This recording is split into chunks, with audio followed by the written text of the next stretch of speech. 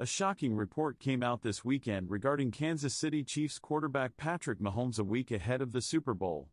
His dad, Patrick Mahomes Sr., was arrested on Saturday night for driving under the influence in Texas, according to TMZ. This is the third time Mahomes Sr. has been arrested for the offense, according to the report, which has shocked many Chiefs fans that learned about the star quarterback's father's arrest. Here is what happened according to the online booking records. According to the report, the 53 year old father of Mahomes was arrested Saturday night in Texas, and bond is reportedly expected to be set later on Sunday. He was also previously arrested in 2019 for DWI, which sentenced him to 40 days in jail, which he served the time on weekends to fulfill his requirement.